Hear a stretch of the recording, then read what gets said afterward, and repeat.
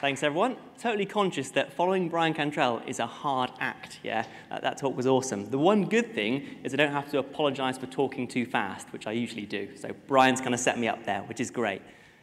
The next 15 minutes, we're going to look at the seven more deadly sins of microservices, the kind of anti-patterns, effectively, that I see and have seen over the past three or so years as a consultant, working in the UK uh, and in Germany and a little bit in the US as well.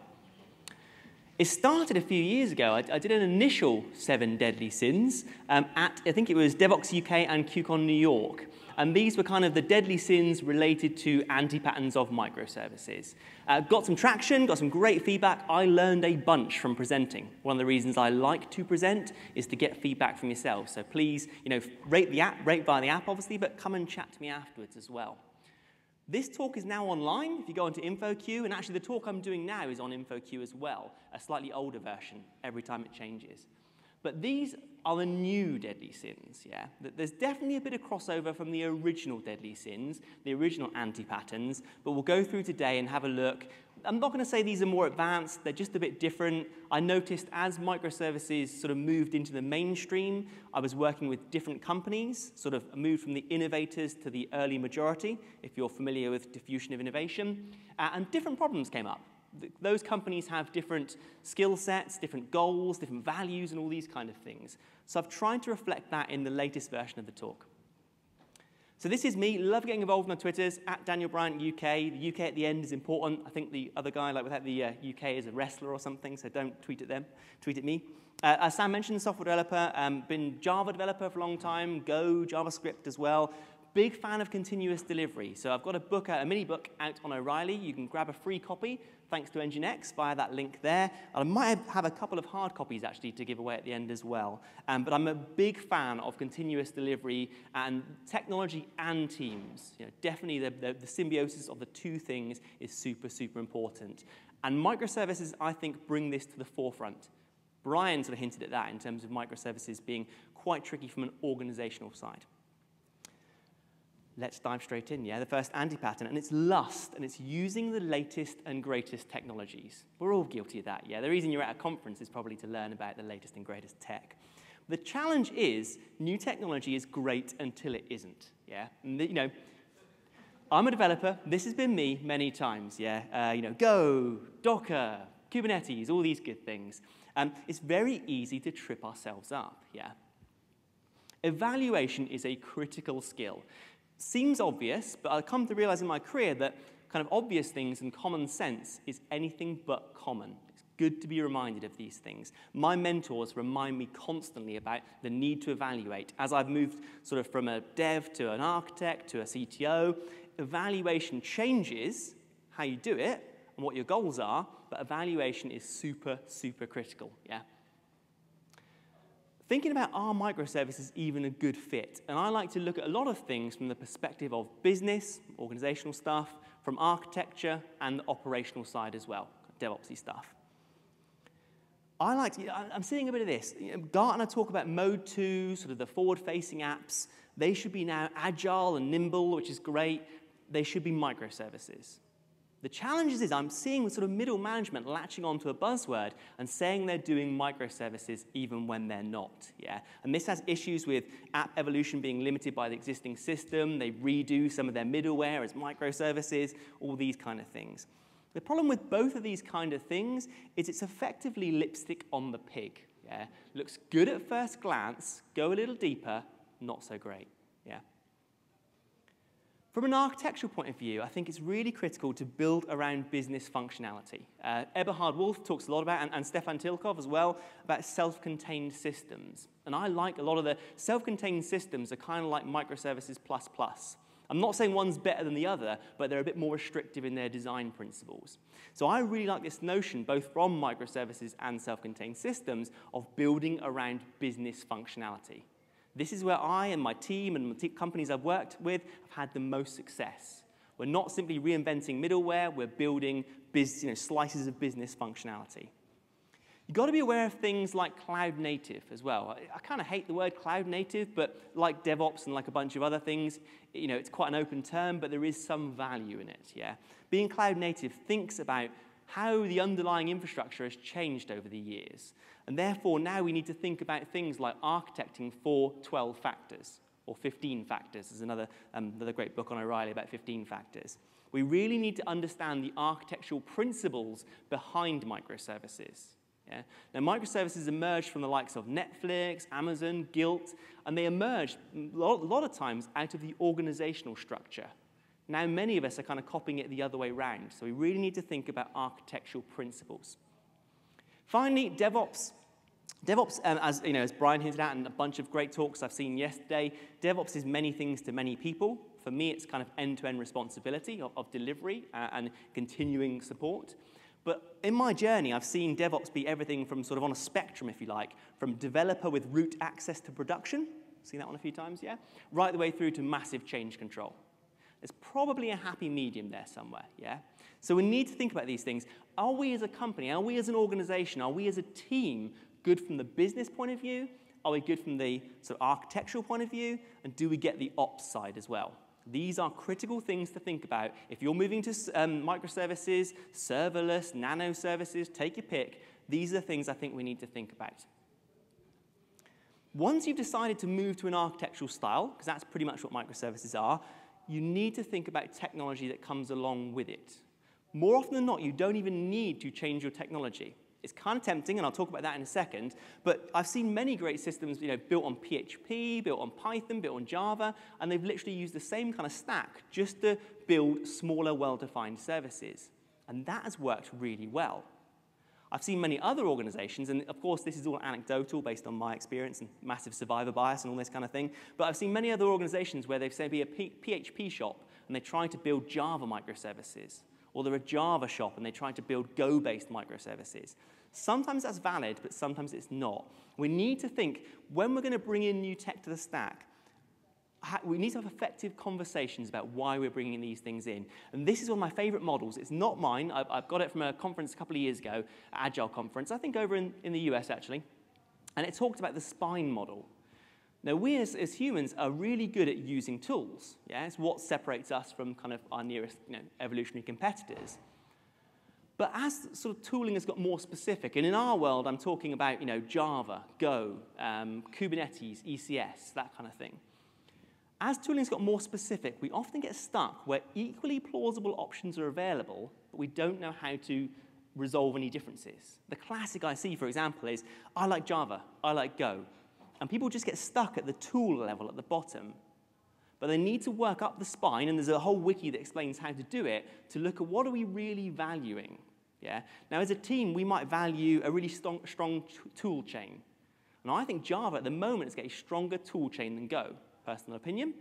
If we're developing for lightweight container-based services and we're being charged for RAM and you know, footprint, then Go is probably a better solution but we need to be having the right conversation at the right level of the spine. And these things, it just helps me as a developer. When I'm you know, getting really in the details, it helps me have the conversations with my team lead, with my CTO or whatever, make sure I'm having the right conversation at the right level. I found this really beneficial. Definitely have a look at the wiki.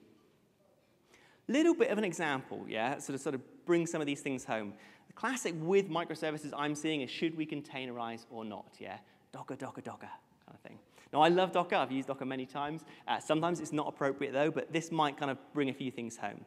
I think from a strategic point of view, we're seeing this kind of thing, and, and a hat tip to Casey West here on this stuff. This is Casey's slide. And he talks about we crammed this monolith into a container and called it a microservice.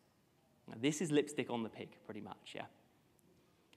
Architecture ops, same kind of thing, from you know, expectations versus reality. Containers just look amazing. Yeah, anyone who saw Andrew, uh, Andrew Clay Shafer's talk yesterday talked about this. It's great, you know, we can just put our application in the containers, it's all, all, all good stuff, yeah?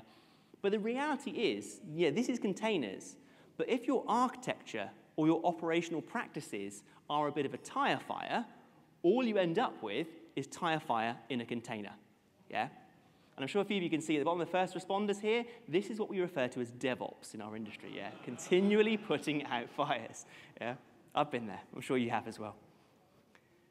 In terms of evaluation, be careful what you search for. If you search for I should use Docker in production, you'll get a thousand articles that say yes. If you search for I should not use Docker in production, you'll get a thousand articles that say no. So confirmation bias is really um, quite tricky. The original Deadly Sins talk talks about how to overcome this a bit more. But I just want to do, you know, it's, it's early morning. I kind of want to get people sort of engaged. Very small amount of audience participation. It is super easy to be tricked in terms of bias. So I'm going to ask you who thinks the top line's bigger or the bottom line's bigger or they're both the same size. So who thinks the top line's bigger there? Got a few. Cool. Who thinks the bottom line is bigger? And who thinks they're both the same size? So the vast majority of us thinks they're both the same size. It's actually the top line that is bigger. Yeah? I've tricked you. So this, for those who don't know, this is a classic optical illusion, and your brain pattern matched and went, ah, he's trying to be clever. And then I was, but in a subtly different way. Yeah? This happens all the time in tech. You know, even our own kind of um, sensibilities, but definitely when vendors are involved, it's, easy to be tricked, yeah? So just think. Now, and I don't say this lightly. Um, I read this book, Thinking Fast and Slow by Daniel Kahneman. I read it about five, ten years ago now, and it genuinely changed my life. Not my develop, just my development life, my life in general. It talks a lot about bias we have as humans, like availability bias, like confirmation bias, these kind of things. And it talks about the heuristics we use. Because our brain is a complex, you know, we haven't, uh, as a, as a species, we haven't figured out our brain yet. You've got the kind of reptilian brain still there from evolutionary time. You've got the neocortex, which is the newer kind of bit of the brain. And, and the book talks about system one and system two, the reptile brain and the sort of thinking brain. It's a really good read. It really helped me understand, obviously, not eliminate my bias, because that would be impossible, but it helped me understand some of the bias I bring to the table and some of my team I've, I've seen in the past when we're trying to evaluate should we move to microservices? Should we use Docker? Those kind of things. Yeah? So, second sin, gluttony, and this is all about communication lock-in. So, a lot of people, in my experience, are a bit shy of using RPC. And if you're a Java developer, uh, I remember I used RMI back in the day, back in sort of 2000s. I don't know if anyone's used RMI, but it was kind of horrible. So I think that's why many of us, and, and many other languages have similar stories. So I think that's many of us are a bit shy to use kind of RPC tooling. We like REST and JSON, and, and, and I do, honest. REST and JSON is really good. Really good to get started if you're looking at building loosely coupled services. Yeah? But don't rule out things like gRPC, um, Apache Thrift, and Avro. They're proper interface definition languages where you specify a contract and then you, the information goes over the wire in binary format. So it's super efficient because you're sending binary data over the wire, and I like the contract. Sometimes the contract is really beneficial when you're trying to exchange data. Yeah? Some of the pushback I get is, you know, the human readability of JSON. But in reality, when systems are in production, you're not going to be reading the traffic going between services. You should be logging correctly what you want to pick out. You should be using correlation IDs and monitoring to understand traces. You shouldn't be relying on the ability to crank open the, the protocols. Kind of a bit uh, conflicting with what Bryan said there, totally conscious of that. So I think him, him, he and I agree on a whole bunch of stuff, but maybe that one's a slightly um, different thing. But I really like these kind of frameworks. Like they, but gRPC in particular, I've used quite a bit. There, you can generate sort of client stubs and so forth in many different languages. Java, JavaScript, Ruby's a bit wonky actually at the moment, but a bunch of other things. So you can do the whole polyglot thing if you want to, and you can still use these kind of protocols for communicating between services. I got a bit of pushback for a while about the kind of operability of those things, and now what we're seeing is something called service meshes popping up. So it can be quite tricky to do observability and so forth of um, binary protocols. It can be quite tricky. It can be quite tricky to do fault tolerance, uh, routing, service discovery, that kind of thing. So things like Linkerd, Traefik, and Envoy have popped up. Now, Linkerd uh, is Scala, JVM-based. Uh, Envoy is C++, and Traefik is Go. So everyone's just gone, every community's popped up with this service mesh idea. And the idea being it runs as a sidecar to your main service. Main service here, sidecar pattern's been around for years, and basically your service communicates to the sidecar, and it's then responsible for fault tolerance, uh, for service discovery, for routing, a whole bunch of things, TLS termination, that kind of stuff. And I'm really liking this model. I do genuinely think it's where microservice communication, at least the RPC side of microservice communication, will be going over the next few years. Uh, for example, Envoy um, was from Lyft, and you know, Linkerd came out of Buoyant. They're solving really big real-world problems, and a bunch of other problems as well, which many of us can relate to if we don't have massive systems. And, and Christian Posta from Red Hat did a fantastic article introducing the concepts behind service meshes. So you're going to see that, I think, quite a bit over the next couple of years. Totally recommend checking it out. Much I'm saying RPC, not the devil in disguise, sometimes events are better. And basically, um, events in messaging, you're trading availability for consistency. Now, as a developer, I think this is quite hard sometimes. The kind of um, ACID world and the RPC world is much easier to, to model in my head. Uh, that's I cut my teeth on relational databases. Uh, or I was a MySQL DBA for a while. And then sort of moving from ACID to what they call base now in terms of eventual consistency is quite a mind kind of twist. But it's really beneficial. So as much as I'm saying, look at RPC, look at JSON over, over REST and stuff, look at RPC, look at events as well. And Jonas Bonér, I think, is a bit of ahead of the curve with this. So uh, Jonas is the CTO at Lightbend, uh, who were TypeSafe, and he has got some really interesting ideas. So I've linked a presentation and I wrote up one of his um, talks. So it's all his work there, but I wrote up a talk on InfoQ. I just learned so much about when we should look at events versus RPC. And kind of the reactive thing, and Jonas has been really involved in this, reactive is only getting hotter. Yeah, if you look at a lot of the frameworks, .NET, Java, they're all embracing this reactive principle because I think microservices up until this point have been very much about architecture, the static view of the system, bounded context, etc. I think the next evolution, we're seeing it with, say, serverless, is going to be around the data around the events. And this is the dynamic view of the system, yeah? Static and dynamic. There's always the two. As architects, we like to focus on the static, but the dynamic is super important. And reactive kind of embraces that dynamic principle a lot more. Switching it up a little bit. So has anyone worked on enterprise service buses here? I'm conscious I'm a little bit old. Yeah, me and Sam, a few people are. Yeah, yeah. If you've been in the industry for a while, enterprise service buses, the, the dream was that you could have this nice bus in the middle of all your services. You know, they, it basically abstracted away all the communication headaches. Yeah. As an architect, when I rolled into projects and I saw this kind of architecture diagram, I was always like, uh-oh, this is not good, yeah. They're like, oh, yeah, our architecture, super simple, a few services talking to each other. I knew when I cranked open the ESB, the communication would be a little bit like this, yeah. I knew there'd be some security and probably some governance going on in there as well, yeah. It's never as simple as it seems on the architecture diagram. Now, the ESB is typically deployed behind the firewall. It's deployed you know, as a back-end kind of communication bus, um, but say we were to move the service boundary, the ingress point, down a little bit and change some of the service names. So now we've got our entry point there in the blue line, and we've got like iOS app, website, etc., etc., talking to services below. What I'd like to ask yourself for a second, is that an ESB or is it an API gateway? Have a little think about that one. Now, don't get me wrong, I'm not ragging on API gateways. They are an amazing tool for centralizing a lot of cross-cutting concerns, like rate limiting, security. You know, it's nice to have a central point of ingress, something like an Nginx, a Kong, a MuleSoft API gateway. But it's all too easy to let business logic drift into this thing. It's what happened with ESBs. They, they promised to make our lives simpler, but we were just pushing the complexity somewhere else. Yeah. And you're going to hear me a couple times. As much I genuinely do love um, the Netflix tech stack. I know many of the Netflix people. They're really cool people. Um, what you hear talked about Netflix is a little bit behind where they actually are, in my experience. So you kind of get the echoes of where they've been. And things like Netflix Zuul is an amazing API gateway. I'm sure a few of you might be playing around with it. It's like an API gateway. It's pluggable. You can um, put in Groovy scripts to dynamically change runtime behavior, which from Netflix's point of view is fantastic. They built out all their backends, and they dropped the Groovy script in to enable, like a kind of like a feature flag, like Sam was talking about yesterday, enable that path. The snag is, you know, Netflix were very disciplined about what code they put into this, you know, dynamic um, code loading. I've seen some companies basically put business logic into that as well.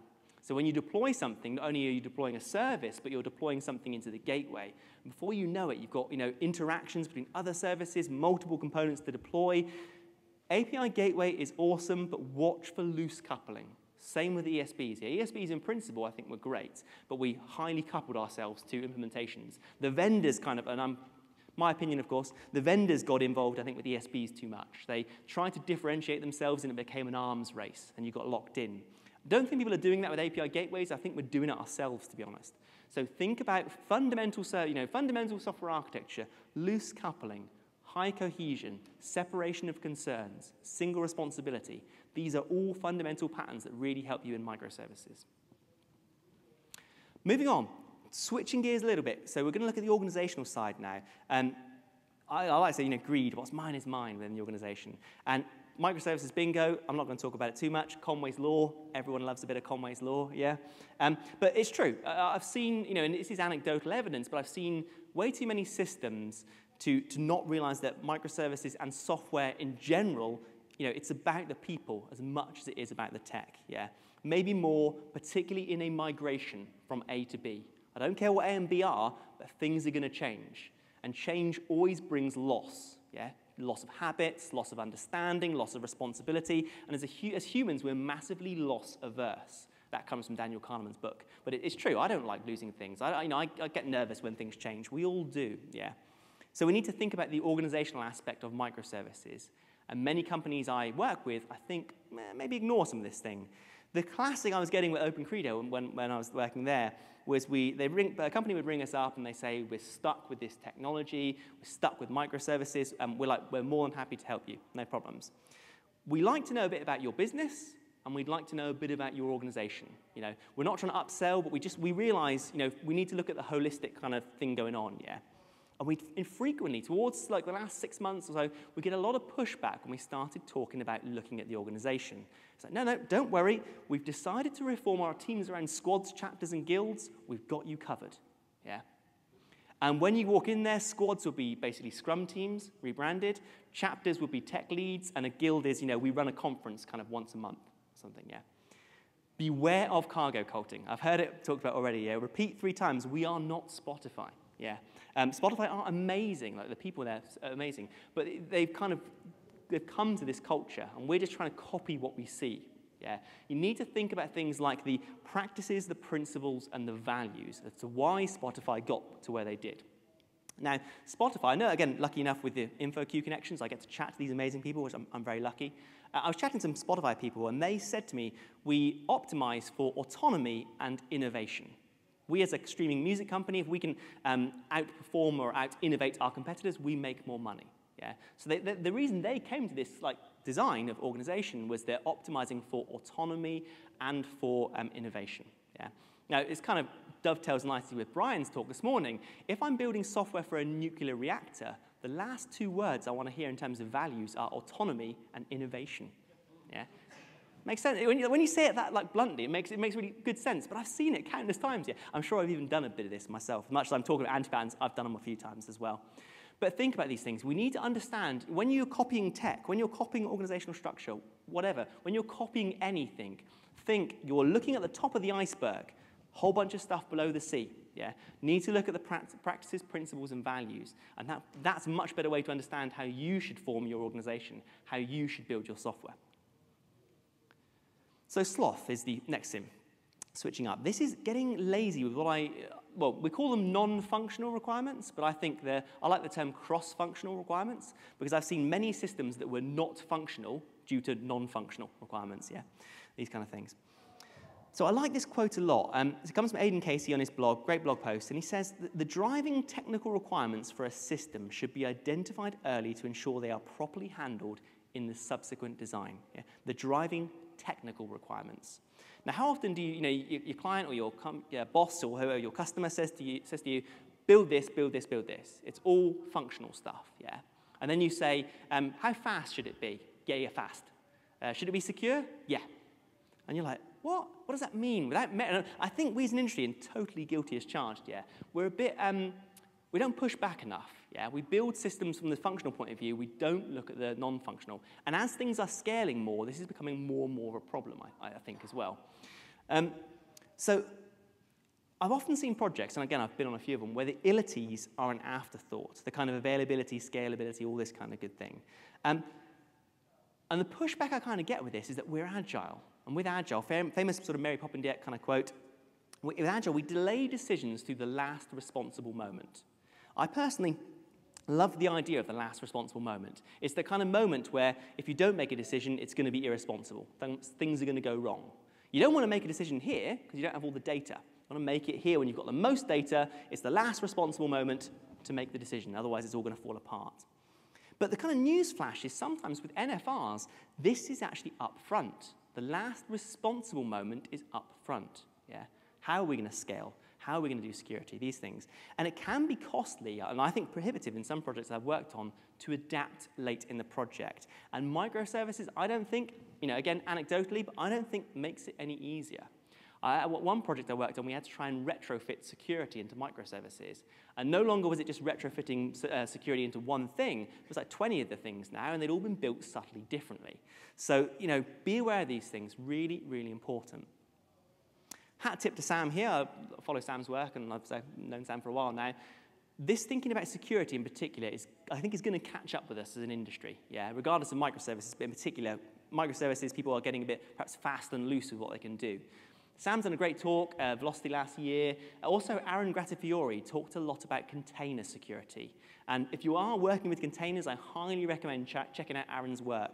Um, even like a lot of um, container software like Docker and so forth, out of the box, it kind of comes with some slightly funny config settings partly from uh, historical reasons and you know, backwards compatibility, but like using namespaces, those kind of things. So the combination, have a look at Sam's deck, have a look at Aaron's stuff if you're using containers. This will give you a great primer to think about the importance and how you might go about doing security within microservices. Yeah, I think it's really, really important.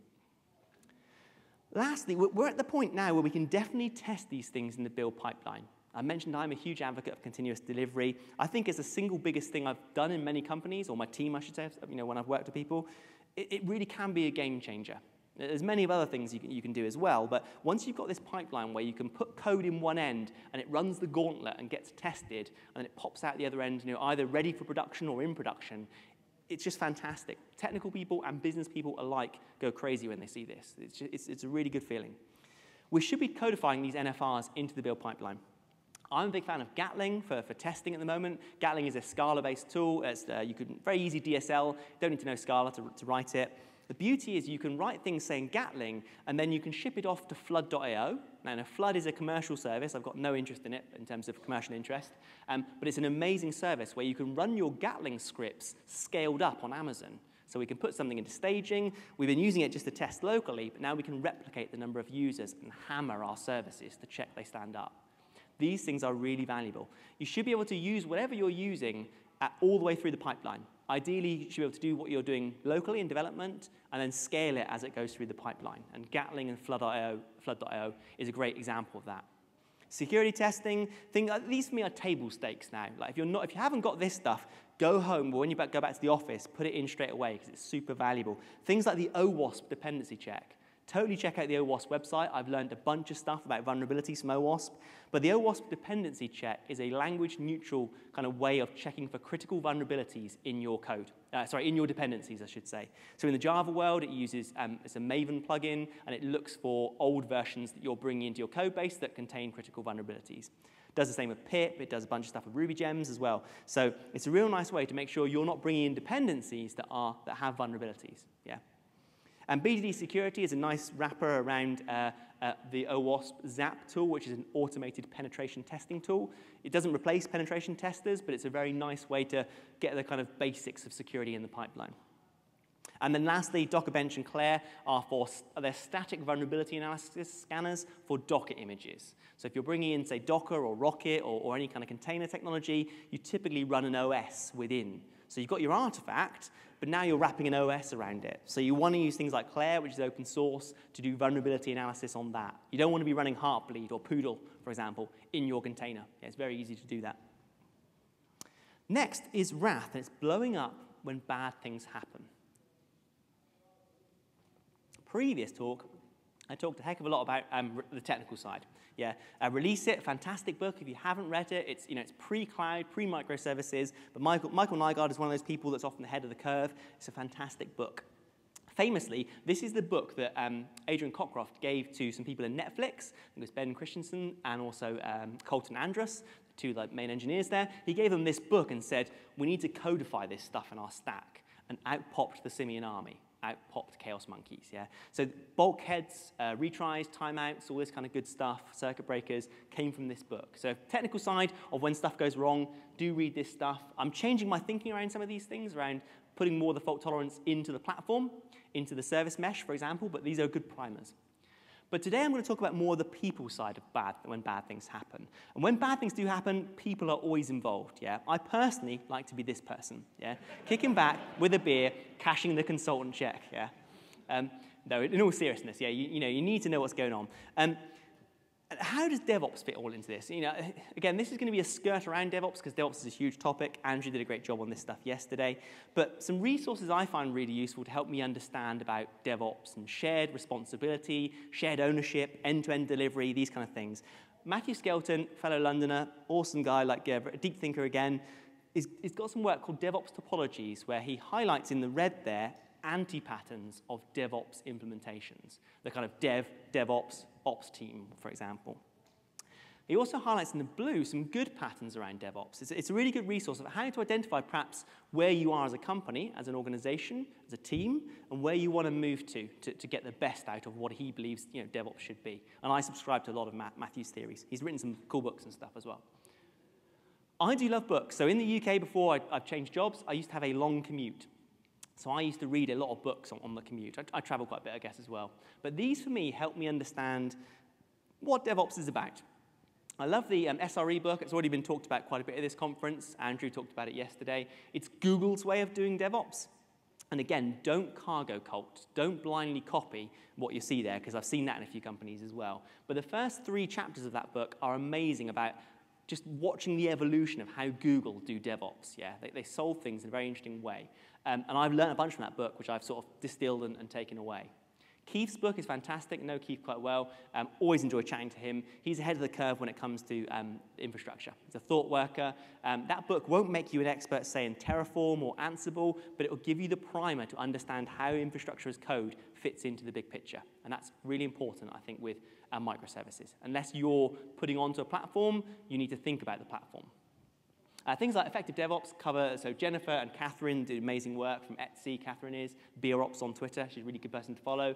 They talk more about the people side, the cultural side, the hiring side of DevOps. Really helped me to think about this kind of shared ownership thing. And lastly, DevOps Handbook is a fantastic book if you're in an enterprise and looking to understand how to move to this new modality of working that we're calling DevOps now. So there is a danger, I think, with the DevOps thing. One, one of the things I see when things are going wrong is there's this notion of hero or heroine kind of um, culture. The hero pops up. I'm a full stack DevOps engineer. And you see this quite a bit. In London, quite, we see it quite a bit, actually, of this one person offering they can solve all of your DevOps problems.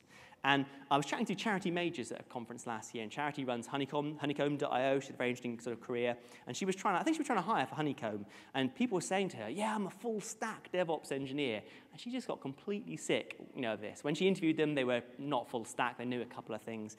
And she did this great quote at the talk at CraftConf last year. And she said, I'm sorry, but if you're not designing the computer chips and writing the website, then I don't want to hear from you as a full stack developer. Yeah? You know, Kevlin Henney often talks about this. When people say they're full stack, he often asks them, how's your device driver writing code? Yeah, and everyone's like, well, I don't write device drivers. You're not full stack. It's, it's kind of been a bit flippant, but we can only do so much as an individual. Back when I started my career, full stack meant I knew JavaScript at the front end and Java at the back end. It then expanded to knowing databases, and now it's got kind of crazy. I like to be a generalist, but I totally appreciate the need for specialists. I've worked with some amazing people in my career at OpenCredo and many other companies as well, where I may be sort of looking at the overall thing, but I cannot do the work without people being specialized in certain things, yeah. Bryan hinted at it this morning. Dev, DevOps, I love the idea of DevOps, but fundamentally, it is Dev and Ops, yeah. There's different skill sets there. For me, it comes down to defining responsibilities. As, as the kind of anti-pattern, I've seen people building entire microservice platforms.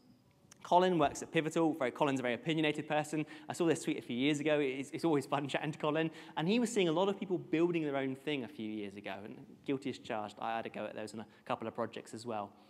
Do we really want to build an entire microservice platform, or should we as developers be focusing on the stuff that matters?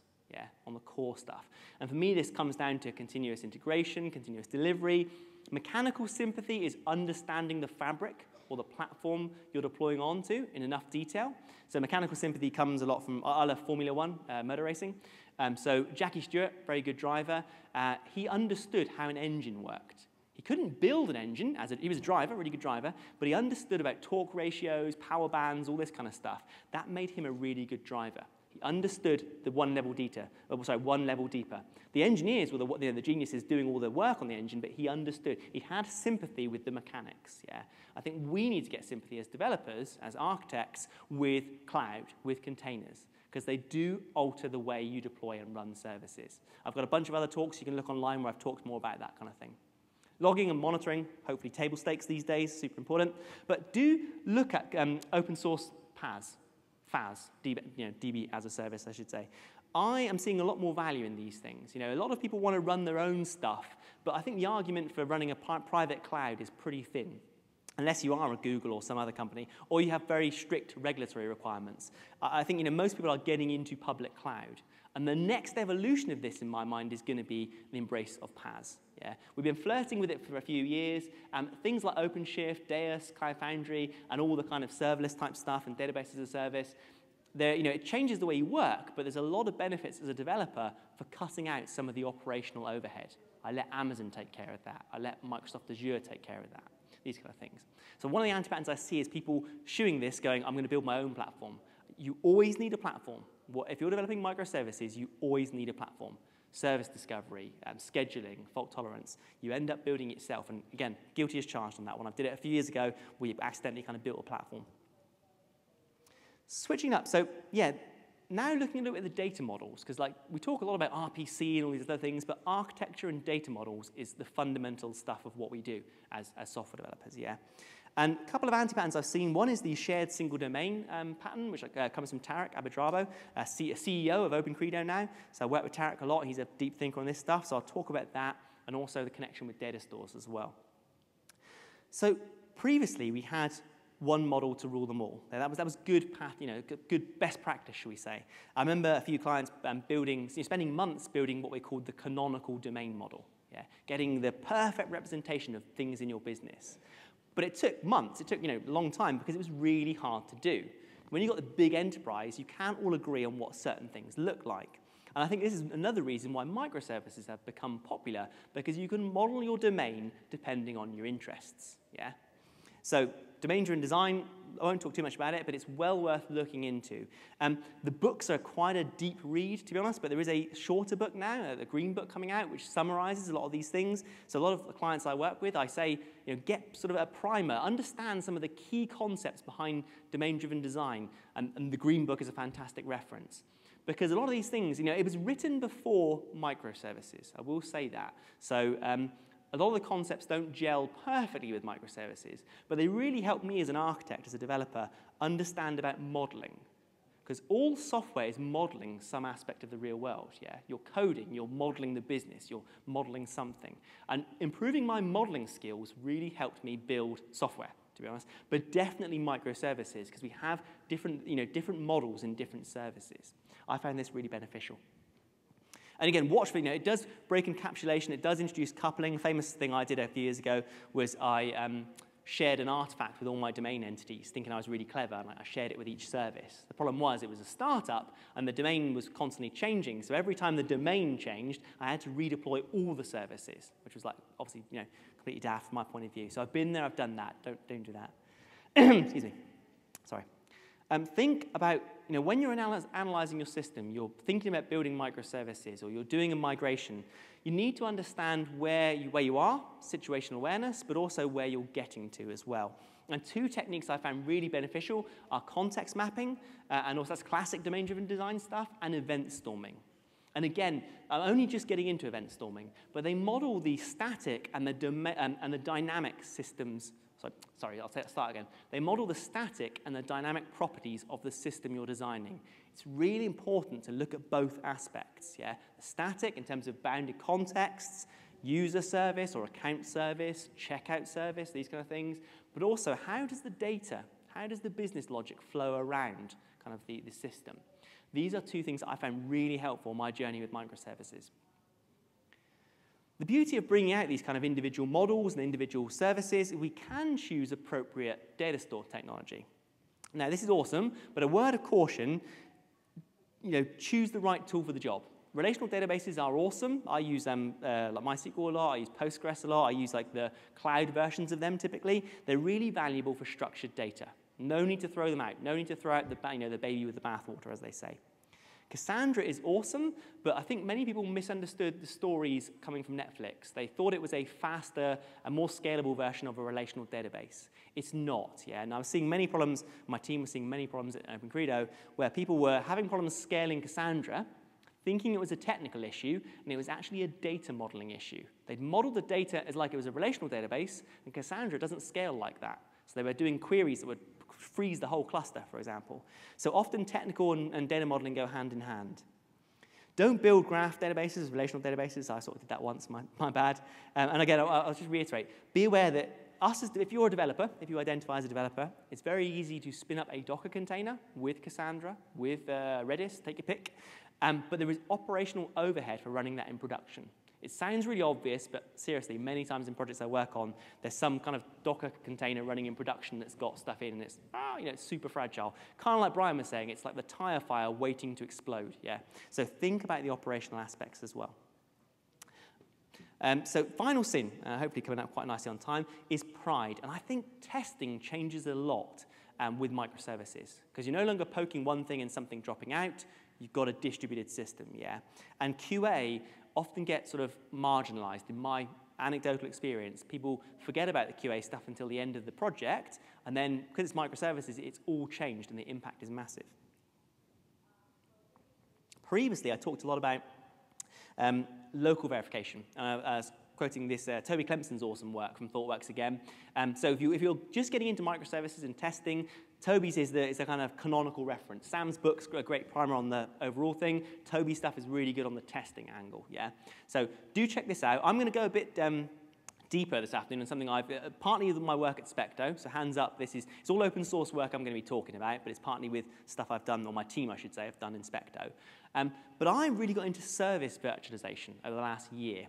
And that's what we sort of used to call it. We're, I think the industry is changing a little bit to API simulation or service simulation. But the idea being it's sometimes quite tricky to develop against something that's either you know another team's developing or isn't ready yet or it's a third party. You know, if you look on the diagram here, and I'll, I'll stand over on this side, um, you have like a consumer, the producer may be unavailable, it may be expensive to run, but you're building something that is coupled to it. So you can actually put something in the middle, like it's basically, it, it's most crudest form, it just records requests and responses at an RPC level. You can do messaging as well, but I won't cover that today. This is really valuable. I had a couple of projects where we worked on where we needed to interact with this third-party system, but we could only use it once a month. And we couldn't generate deterministic failures. So we wanted to test how our system would handle these failures, but we couldn't, couldn't do it until we started using basically a proxy. Yeah, you put a proxy in the middle there, you can see, and it's kind of, kind of useful. When you scale it up, yeah, so say you've got many you know, microservices, many internal producers, you've got some, maybe a PayPal or eBay third-party system outside your boundary, this gets harder and harder. I've written an article about locally testing microservices. So if you search online, locally testing microservices, I've shared my thoughts about that already. But this, one way, and I'm not saying it is the de facto way, but one way is to virtualize those services. This comes typically a bit later in the pipeline. You might want to mock, say, up front, but virtualize later. And then you can do kind of funky things with these virtualized services, these API simulations, if you will. There's a bunch of tools, um, classics, and you might have had these in your organization already. There's new stuff like Hoverfly, which I'm working on, open source. WireMock, awesome guy Tom Akehurst in, in the UK, works on a Java sort of framework, uh, very similar. As VCR Betamax, Mountebank from ThoughtWorks. Mirage is a Python-based one. So all the languages are covered, whatever you're, you're coding in. I'm going to talk a little bit about Hoverfly. and this is open source. It's Go-based. Super high performance. The reason we wrote it is we were struggling with some of the other tools that were not, and they were written in JVM languages and a bunch of other things, and they just weren't designed quite right, so we couldn't scale them. So now we've actually like, so rewritten, rewritten this stuff in Go, super lightweight, single binary, and you can simulate many services from one binary, which is kind of cool. Kind of funky stuff, and again, this is, you know, whether you're using WireMock, Hoverfly, or whatever, you typically sort of, you know, you put your thing, Hoverfly in this case, in the middle between your client and your external service, and you record traffic. So when you're in simulate mode, you can get rid of the external service, and you can just put a request in, it matches, and it responds back.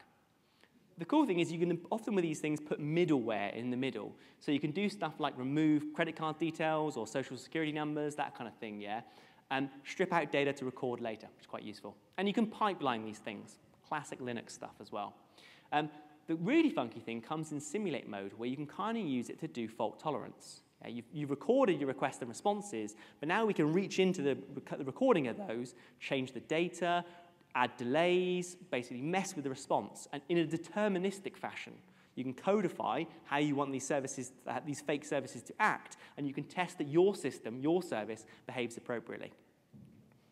So Hoverfly's got some Java um, uh, JUnit support. I'm like Java developer, kind of most stuff I do. You can spin up like rules like this. Um, you, it's all like a nice DSL kind of thing. WireMock is identical in terms of style, so I'm, I'm showing you Hoverfly, but it's kind of very similar to many other things. You can actually put it straight into your testing. There's like a um, .NET version, there's Python, a bunch of other stuff as well. Um, but the, you can see the power. You can basically codify in your test harness you can say, fake these services, fake these endpoints. It's a very powerful paradigm when you suddenly realize you, you can even spin up things that don't exist yet. WireMock's got a great DSL for coding these things. Mirage, kind of the same. You can codify what you want to be there. And basically, if you're being blocked by some downstream service, you can get working by codifying these kind of rich mocks up front. You can do like fault tolerant stuff as well, which is quite, quite funky as well. But yes, let's wrap this up. I think we are coming pretty close to time. So this is what, um, what I've sort of seen as the seven more deadly sins, yeah? Um, do think, if you're going to go to microservices, think, is it the right choice for you? Is it the right choice for your team? Is it the right choice for your organization? Think about technology. Docker, Go, Java. There's always a cost for bringing in new stuff, yeah? Think about communication, same kind of thing. I like service meshes, really liking reactive and events as well, but figure out what's right for you, yeah? You know, what your skill set of your team is, these kind of things. Think about the organizational aspect. It cannot be underemphasized in my, my experience. Um, and also think about things like getting lazy with NFRs from the you know, people and technical perspective as well. Um, with Wrath, exactly that. Think about when, when things blow up. Think about DevOps. I think you know some notion of whatever you identify as DevOps has to be in place in your team to, to use microservices. You have to have end-to-end -end responsibility. You have to have shared ownership. Otherwise, microservices get out of hand very quickly, my experience. Um, Envy, so yeah, think about the single domain model, think about how you're backing those models with, with data stores and stuff. But don't get me wrong, many of the sins have been kind of around the edges. The fundamental stuff we're talking about with microservices is architecture and it's domain modeling, yeah? And it's static and it's dynamic. Think about those things and, you won't go far wrong. I think we often get distracted with other things, but that's your fundamental stuff to think about. And testing does alter. One thing I found useful is this kind of notion of um, virtualizing services. Again, love to hear your feedback on that kind of stuff as well. Um, some books, I always got recommend Sam's book. I found it really useful on my on microservices. There's a couple other O'Reilly books in the same space. Total shout out to Susan Fowler. That is an awesome book, Production Ready Microservices. If you haven't read it, please do. It's a really nice kind of primer for running services. Um, Susan used to work at Uber. I'm sure a few of you may have heard the story, but now she's working at Stripe. Um, and she's, she's got some amazing thinking around this stuff. A bunch of other ones, thinking about APIs, continuous delivery, all this kind of stuff. The slides will go, go online. I think some of them already are online. At that point, I shall say, don't forget to rate the talk. Really appreciate your feedback, both on the app and also in person or, or Twitter or something. But um, thank you very much for your time.